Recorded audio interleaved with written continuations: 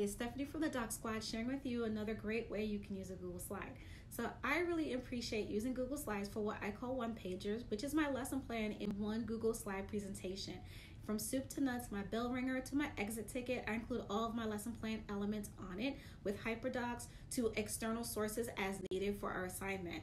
I usually save these and place them into Google Classroom by date. So this gives a student who's like say absent or or may need some extended time and opportunity to see this is what we did. So it's very accessible. So it's a great way to set your students up for success.